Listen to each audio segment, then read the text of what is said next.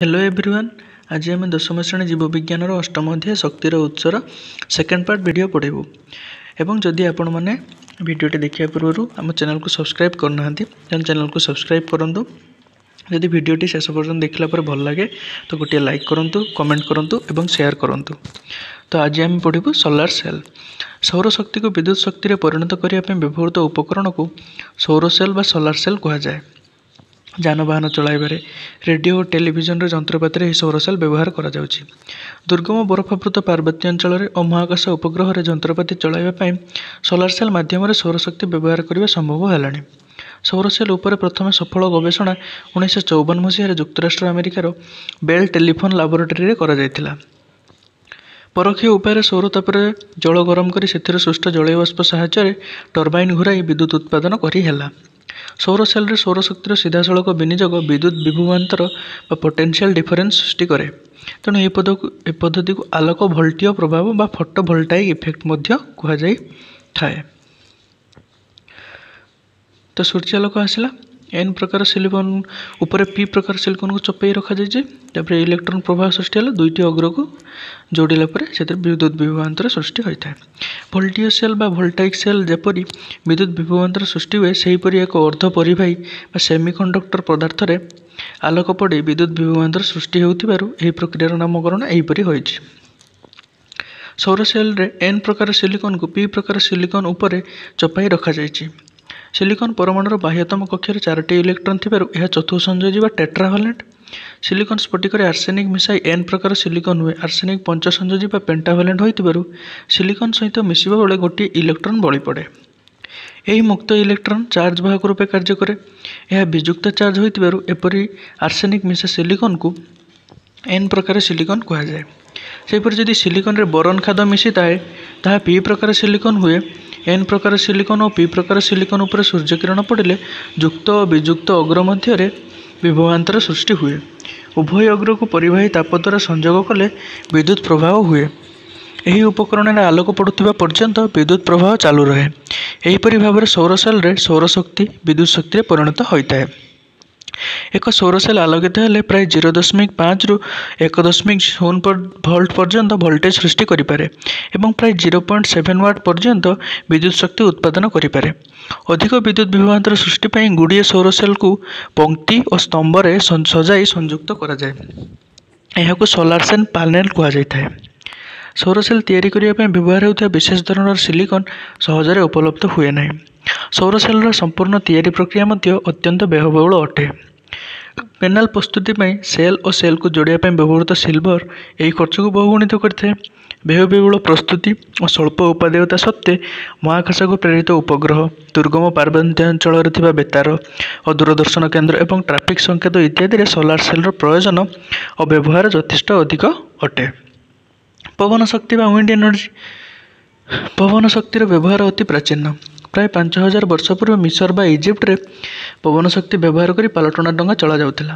ବହୁ କାଳରୁ ସମୁଦ୍ର ତଟ ଦେଶମାନଙ୍କରେ ପାଲଟଣା ଜାହାଜର ନୌ ବାଣିଜ୍ୟ ଚାଲୁଥିଲା। କାଳକ୍ରମେ ପବନ କଳ ବା ୱିଣ୍ଡ ମିଲ୍ ସାହାଯ୍ୟରେ କାଠ ଚିରା ଅଟା ପେଶା ତେଲ ପଡ଼ା ଇତ୍ୟାଦି ଅନେକ କାର୍ଯ୍ୟ କରାଗଲା। ତ ଏଇ ଦେଖିପାରୁଥିବେ ପବନ କଳ। ଗୋଟେ ଉଚ୍ଚ ଟାୱାର ରହିଲା ଆଉ ଗୋଟେ ପ୍ରପେଲର ରହିଲା। ଆମେ ଜାଣୁ ଯେ ଭୂପୃଷ୍ଠ ବା ସମୁଦ୍ର ସୂର୍ଯ୍ୟକିରଣ ଦ୍ୱାରା ଅସନ୍ତୁଳିତ ଭାବେ ଗରମ ହେଲେ ସେ ସ୍ଥାନକୁ ପବନ ବହିବାକୁ ଆରମ୍ଭ କରେ। ବାୟୁର ଏହି ଗତିଜ ଶକ୍ତିକୁ ବିଭିନ୍ନ ପ୍ରକାର କାର୍ଯ୍ୟ କରିବା ପାଇଁ ବ୍ୟବହାର କରାଯାଇପାରେ। ପୂର୍ବ କାଳରେ ପବନ କଳ ଦ୍ୱାରା ଉତ୍ପାଦନ କରାଯାଉଥିବା ଏହି ଶକ୍ତିକୁ ହିଁ ଯାନ୍ତ୍ରିକ କାର୍ଯ୍ୟରେ ବ୍ୟବହାର କରାଯାଉଥିଲା। ଉଦାହରଣ ସ୍ୱରୂପ ଗୋଟିଏ ପାଣି ଉତ୍ତୋଳନ ପମ୍ପରେ ପବନ କଳର ଘୂର୍ଣ୍ଣନ ଶକ୍ତିକୁ ବିନିଯୋଗ କରି କୂଅରୁ ପାଣି ଉଠାଯାଇପାରେ। ପବନ କଳ ସାହାଯ୍ୟରେ ବାୟୁର ଗତିଜ ଶକ୍ତିକୁ ଉପଯୋଗ କରି ଜେନେରେଟର ଚଳାଇ ବିଦ୍ୟୁତ୍ ଶକ୍ତି ଉତ୍ପାଦନ କରାଯାଇଥାଏ।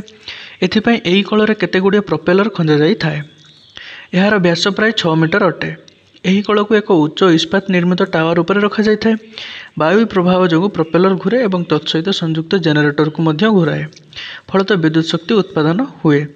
ଡେନମାର୍କ ସରକାରଙ୍କ ସହାୟତାରେ ଓଡ଼ିଶାର ସରକାର ପୁରୀ ସମୁଦ୍ର କୂଳରେ କେତେକ ପବନ କଳ ସ୍ଥାପନ କରିଛନ୍ତି।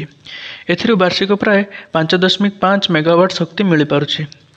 ସେହିପରି କୋଣାର୍କର ସମୁଦ୍ର କୂଳରେ ମଧ୍ୟ କେତେ ଗୁଡ଼ିଏ ପବନ କଳ ସ୍ଥାପନ କରାଯାଇଛି। ଡେନମାର୍କକୁ ପବନର ଦେଶ ବୋଲି କୁହାଯାଏ। ଏହି ଦେଶର ପଚିଶ ପ୍ରତିଶତରୁ ଅଧିକ ବିଦ୍ୟୁତ୍ ଶକ୍ତି ଚାହିଦା ପବନ କଳ ଦ୍ୱାରା ମେଣ୍ଟା ଯାଇଥାଏ ପବନ ଶକ୍ତିକୁ ବ୍ୟବହାର କରି ବିଦ୍ୟୁତ୍ ଉତ୍ପାଦନ କରିବାରେ ଜର୍ମାନୀର ସ୍ଥାନ ବିଶ୍ୱରେ ପ୍ରଥମ ଓ ଭାରତର ସ୍ଥାନ ପଞ୍ଚମ। ଆକଳନ କରି ଦେଖାଯାଇଛି ଯେ ଭାରତର ପବନ ଶକ୍ତିକୁ ବିନିଯୋଗ କରି ପ୍ରାୟ ପଇଁଚାଳିଶ ହଜାର ମେଗାୱାଟ୍ ବିଦ୍ୟୁତ୍ ଶକ୍ତି ଉତ୍ପାଦନ କରାଯାଇପାରିବ। ଭାରତର ବୃହତ୍ତମ ପବନ ଶକ୍ତି କ୍ଷେତ୍ର କନ୍ୟାକୁମାରୀଠାରେ ସ୍ଥାପନ କରାଯାଇଛି ଏବଂ ଏଠାରେ ପ୍ରାୟ ତିନିଶହ ଅଶୀ ମେଗାୱାଟ୍ ବିଦ୍ୟୁତ୍ ଶକ୍ତି ଉତ୍ପାଦନ କରାଯାଇପାରୁଛି ଫ୍ରାନ୍ସ ଜର୍ମାନୀ ଡେନମାର୍କ ଓ ନେଦରଲ୍ୟାଣ୍ଡ ଆଦି ଦେଶମାନଙ୍କରେ ପବନ କଳର ପ୍ରଚଳନ ଅଧିକ ଦେଖାଯାଏ। ନେଦରଲ୍ୟାଣ୍ଡ ଓ ଡେନମାର୍କରେ ପ୍ରାୟ ତିରିଶ ହଜାର ଘରେ ଓ ତିନି ହଜାର କାରଖାନାରେ ପବନ କଳ କାର୍ଯ୍ୟ କରୁଛି। ଉଣେଇଶହ ଛଅଷଠି ମସିହାରୁ ଆମ ଦେଶର ବେଙ୍ଗାଲୁରୁଠାରେ ଜାତୀୟ ଏରୋନଟିକାଲ ଲାବୋରେଟୋରୀ ନ୍ୟାସନାଲ ଏରୋନଟିକାଲ ଲାବୋରେଟୋରୀରେ ପ୍ରଥମେ ପବନ କଳ ସାହାଯ୍ୟରେ ପାଣି ଉଠାଇବାର ବ୍ୟବସ୍ଥା କରାଯାଇଥିଲା। ଏବେ କର୍ଣ୍ଣାଟକ ଗୁଜରାଟ ପରି କେତେକ ରାଜ୍ୟରେ ପବନ କଳ ବହୁଳ ଭାବେ ପ୍ରଚଳିତ ହେଉଅଛି। ଗୋଟିଏ ପବନ କଳରୁ ଉତ୍ପାଦିତ ଶକ୍ତି ଏତେ ଅଧିକ ନୁହେଁ ତେଣୁ ଏକା ସାଙ୍ଗରେ ଗୋଟିଏ ସ୍ଥାନରେ ଅନେକ ପବନ କଳ ସ୍ଥାପନ କରାଯାଇଥାଏ। ଏହାକୁ ପବନ ଶକ୍ତି କେନ୍ଦ୍ର ବା ୱିଣ୍ଡ ଏନର୍ଜି ସେଣ୍ଟର ବା ପବନ ଶକ୍ତି କ୍ଷେତ୍ର ବା ୱିଣ୍ଡ ଏନର୍ଜି ଫାର୍ମ ମଧ୍ୟ କୁହାଯାଇଥାଏ। ଏହି କ୍ଷେତ୍ରଗୁଡ଼ିକର ସମୂହ ଶକ୍ତି ବ୍ୟବସାୟିକ କ୍ଷେତ୍ରରେ ବିଦ୍ୟୁତ୍ ଶକ୍ତି ଉତ୍ପାଦନରେ ସହାୟକ ହୋଇଥାଏ। ପବନର ବେଗ ଅତ୍ୟଧିକ କମିଗଲେ ପବନ ଚକି ଘୁରାଇ ବିଦ୍ୟୁତ୍ ଜେନେରେଟର ଚଳାଇବା ସମ୍ଭବ ହୁଏ ନାହିଁ। ଅତି ବେଗରେ ପବନ ବହିଲେ ମଧ୍ୟ ବାତ୍ୟା ହେଲେ ମଧ୍ୟ ପବନ ଚକି ଉପରେ ଭାଙ୍ଗିଯାଏ। ଚାପରେ ଭାଙ୍ଗିଯାଏ ପବନ ଚାପରେ। ଏହିସବୁ ପରିସ୍ଥିତିରେ ପବନ କଳ ବିଶେଷ ଉପାଦେୟ ହୋଇନଥାଏ।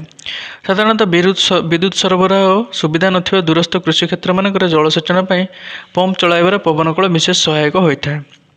ତେଣୁ କିଛି ଜିନିଷର ମେରିଟ୍ ରହିଲେ କିଛି ଡିମେରିଟ୍ ରହୁଛି ତ ପବନ ଶକ୍ତିରେ କିଛି ପ୍ରଦୂଷିତ ନ ହେଉଥିଲେ ମଧ୍ୟ କିନ୍ତୁ ସେଥିର ପ୍ରପେଲର ଭାଙ୍ଗିଯିବାର ସମ୍ଭାବନା ଥାଏ କିମ୍ବା ଅତ୍ୟଧିକ କମ୍ ଜୋରରେ ପବନ ବହିଲେ ଜେନେରେଟର ଚଳାଇବା ମଧ୍ୟ ସମ୍ଭବ ହୋଇନଥାଏ।